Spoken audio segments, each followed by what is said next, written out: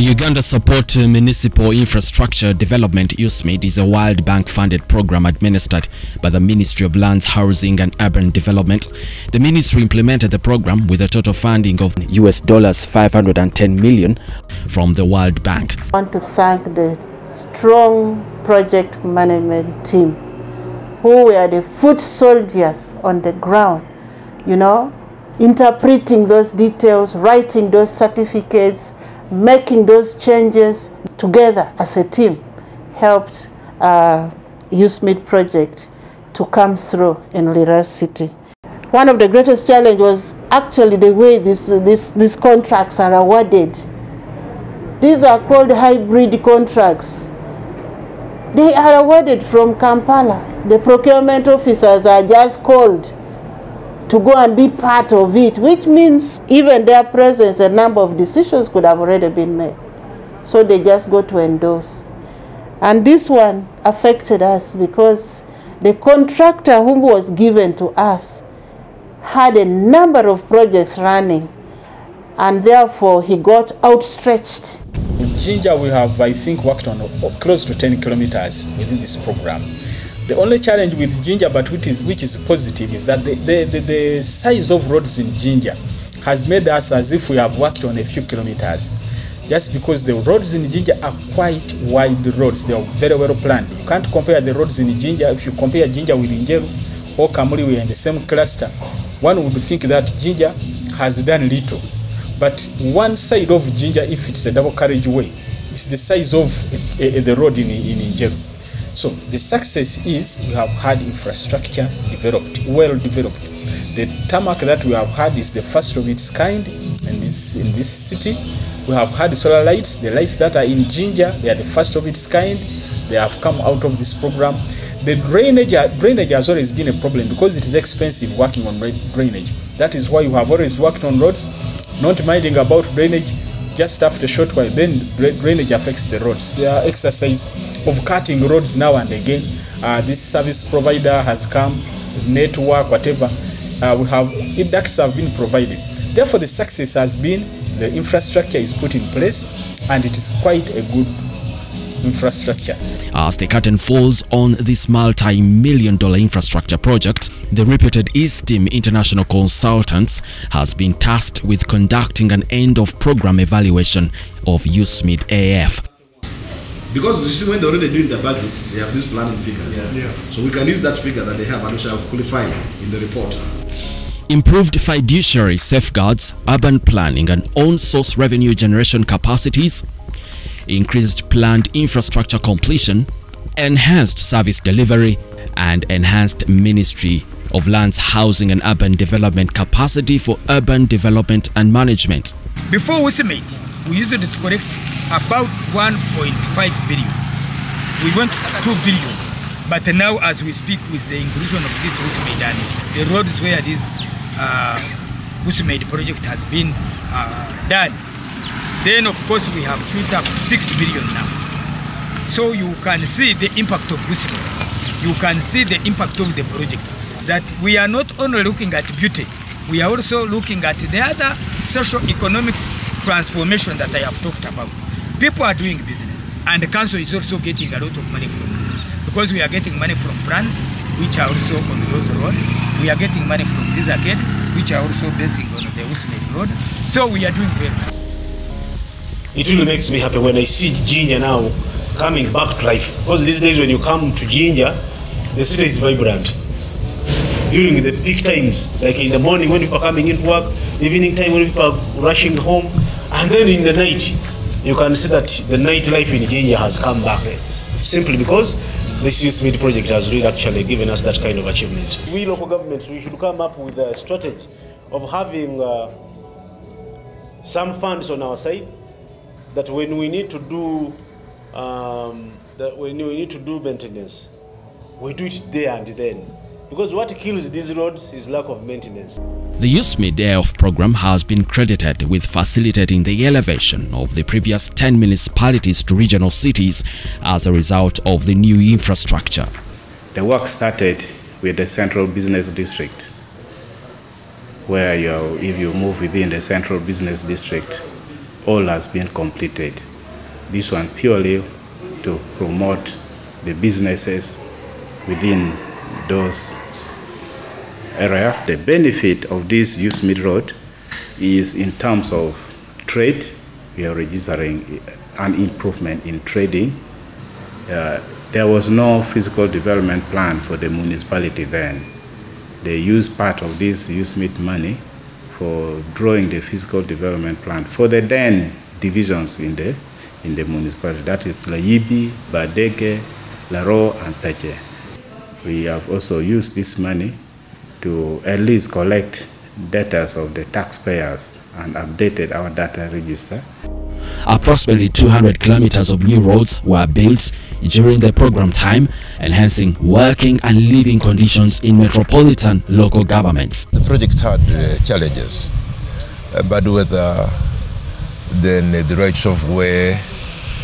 Uh, then we have some people who have uh, uh, stubbornly refused to remove encroachment and they have remained uncooperative. Others have appreciated it.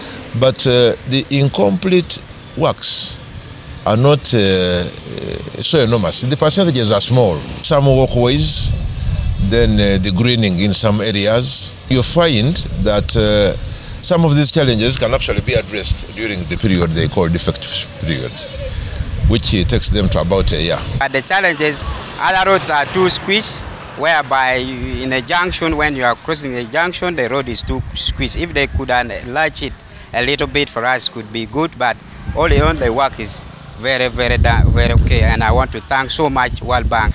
when you look at the zebra crossing when it's raining the the, the, the, the, the color is not the color is not okay sometimes uh, when you want to cross the road sometimes it's very difficult and the solar is there but sometimes you see other places now becoming dark i'm sorry for the border border and those guys who use the road reckless by driving over speeding over misusing the road congestion is too much sometimes when children crossing the road actually sometimes it disappoint me Uh, I started working in this street before uh, this improvement. Before we had a lot of uh, challenges like uh, we couldn't operate till late hours or we couldn't even uh, leave our things out. It was just a quiet street for us. Uh, people could not even, like in terms of customers, they, would- they would not even want to pass this road. First of all, it was so dirty, and we had these other street kids who would dominate the street. People would fear to really walk in this street. After this youth meet project, as you can see, people prefer to walk along this road more than before. We have a challenge. They have failed completely to work on the drainage channels. As you can see, some of the drainage channels, they have not worked on them. Water is always flowing on the road when it rains heavily. So my appeal to our leaders, let them coordinate with the contractors so that they can work on the road for us. With these USMID projects, uh, we are now able to uh, have these patients reach the hospital in time and also uh, our motor vehicles that evacuate these patients from home, uh, some of them who use border border are able to now reach the hospitals in time. accidents in Bara town have kind of reduced because way back we would be struggling for pathways with those border border people and it was really hard and tough on us. novugaje kasitoma nikithia uchitira omubazi rikwaka wino bori simati otwaraje kasitoma musiha hari kuza kandi ogarigate n'abashumani baba batariho ahabwa amatara agakubatire agarikwaka ugashaha imwe paka shaha imwe yagasheshi All these metropolitan roads are outfitted with solar lighting, cycle lanes, parking lanes, pedestrian walkways, bus stops, street garbage cans, drainage, and other amenities. most of the roads in the CBD are paved. eh? And the paved means we have reduced dust. This has enabled the businesses to prosper and uh, has increased also revenue collection, also revenue collection because the number of businesses have come along these roads. All the volumes have increased. The number of projects that we want to do because of the funding, this include the beautification of the mayor's garden, uh, the children park. instance, we are yet to undertake them, be future projects, and also some other roads not, what, not yet worked on. Uh, we used to have a challenge of uh, floods because the existing roads had the gullies, the potholes, and had no drainage. So the town used to flood. Now drainage has been catered for, and the water now drains properly, and there are no more floods in town. The town is very clean. We have catered for environment. We have provided for trees along the walkways and in the islands. We also provided for flowers in the islands. And uh, we are also uh, adding, which is not yet done, but which is going to be done, we are putting sculptures.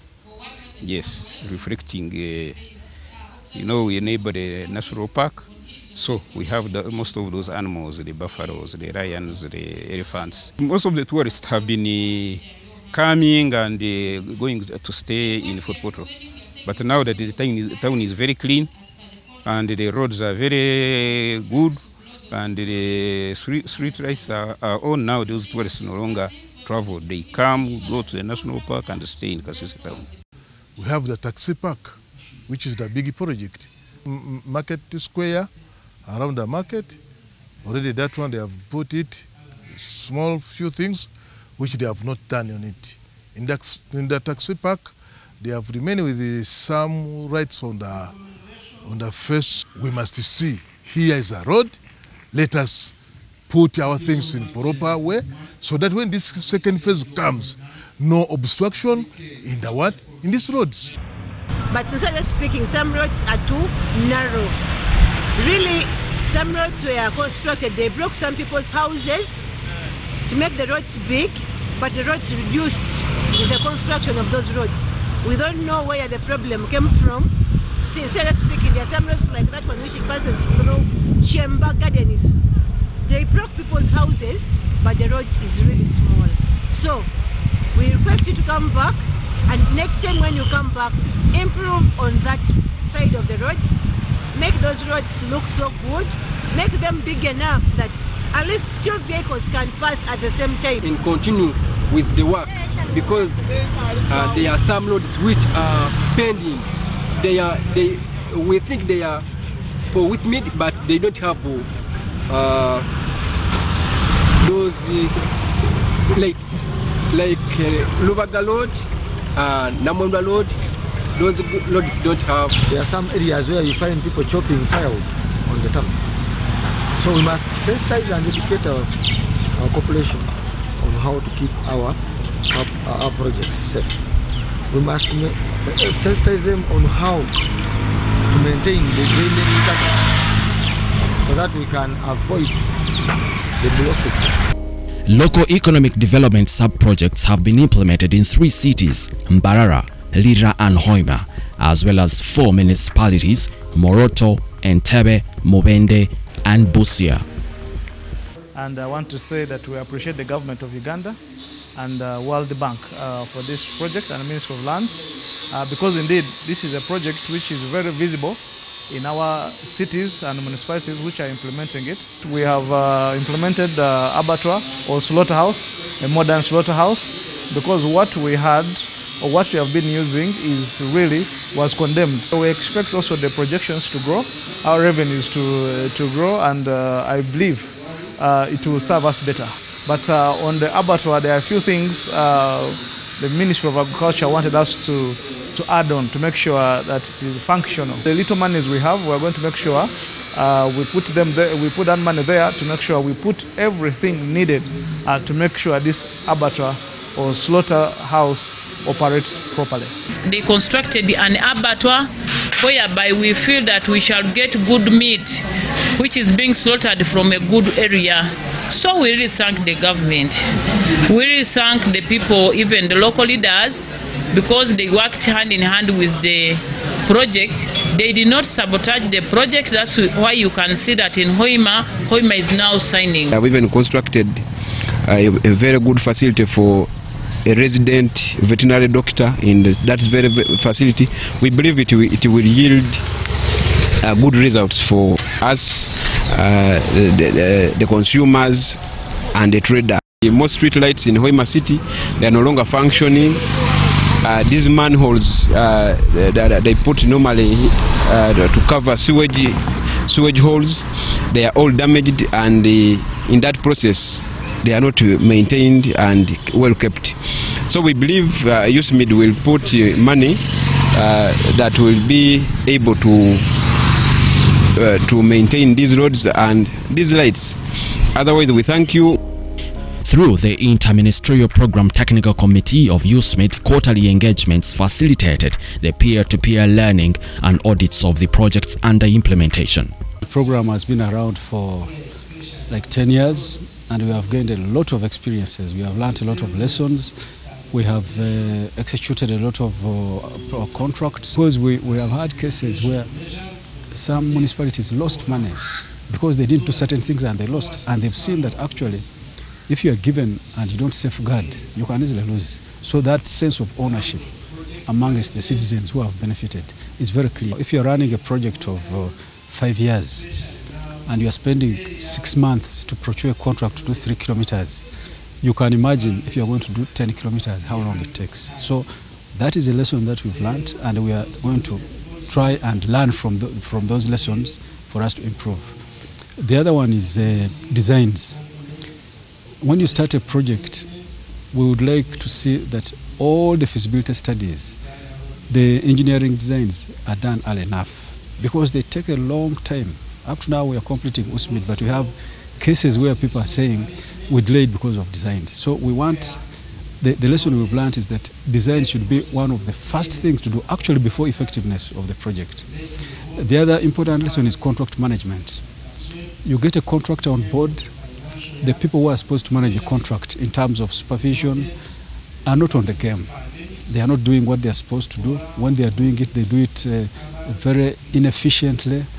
So those are some of the things. The, the other one we have seen is that it's very important in this project to have a very good working team between the technocrats and the political leaders. Over a 10-year period from 2013 to June 2024, 33 local governments covering 10 regional cities, 22 municipalities and 11 refugee hosting regions have been racing against time to complete infrastructure projects. The ministry's support to refugee host districts was in three ways infrastructure that enhances social cohesion between refugees and host communities, physical design of host communities' land, and systematic land adjudication and titling. Please, I ask you to keep them safe. You use them properly. Don't put anything on them, leave them as they are. Get an envelope, put them in that big envelope properly. Keep them where you can keep safely away from fire, away from water, away from ink, away from anything which will spoil. Implementing a variety of static infrastructure sub-projects such as leisure parks, 17 markets, 7 playground fields, 21 resource centers, 10 taxi parks, 4 bridges and 3 drainage channels. You can see on the lanes of the low cost ceiling from Bweyale town to the settlement, it has lit the whole of that area. And even when you go to the playfield, there are also lights the other side. And so Boyale is getting lit. So if you want to cross to Alaro, we used to remove all our clothes while moving to Alaro. But nowadays, the road is now okay. We are free to move. Those who come and construct this road, I thank you very well. We are now okay. We are now seeing very so many things. The business is now going. The, our children are studying. We are now getting the services from this health center. Thank you very much. We are a rural district and we don't have uh, places of recreation. We don't have good hotels and this is going to be our everything. Weddings are going to be here. Educational functions are going to be here. National celebrations are going to be here. Everything is going to be here. That is the meaning of these projects for us. And being community owned and led projects, the communities in which these project got undertaken also played a role in ensuring is successfully executed. So it's a collective responsibility that saw to it that this project got executed successfully. And we are today all witnessing the commissioning of the resource centers as well as the market and the land titles for the beneficiaries to get value from it. Thank you. This resource center of Palorinya was supposed to be worth 1.8 billion shillings, but we have constructed it at 966 million shillings. We have also added a bit of the additional fencing and the gatehouse, which has pushed the money to about 1.1 billion shillings. So that is quite less than what originally was supposed to be executed. But that doesn't affect the quality, except it affects the serviceability. Because the resource center was supposed to have a kitchen, was supposed to have a wider paved area, was supposed to have a, a more detailed installation inside, like fully fledged library and all the things, but we could not do them because of the costing. The ministry launched systematic land adjudication and certification efforts in Kamwenge district, Kaberebere, Nkoma sub-county and granted 774 freehold land titles to people under the program by May 2024. Apart from transacting with the foreigners as third parties, the freehold certificates of titles offer holders the possibility to access credit from various financial institutions, hereby empowering them financially. The systematic property adjudication and certification process continues in the other district local governments and all scheduled parcels are yet to be completed and distributed by the program's closure date. Beneficiaries of USMID AF infrastructure initiatives from 33 local governments in regional cities, municipalities and refugee host districts give proposals for improving such interventions in the near future. So we, we are praying, we are praying for the next phase so that uh, it, uh, we expand the road network from the center even to, to the periphery, up to the periphery of the city.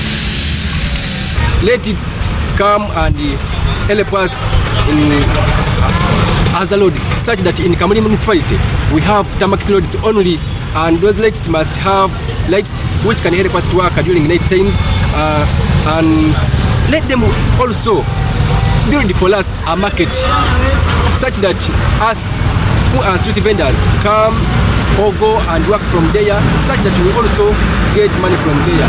There are some areas where you find people chopping firewood on the top. So we must sensitize and educate our, our population on how to keep our, our, our projects safe.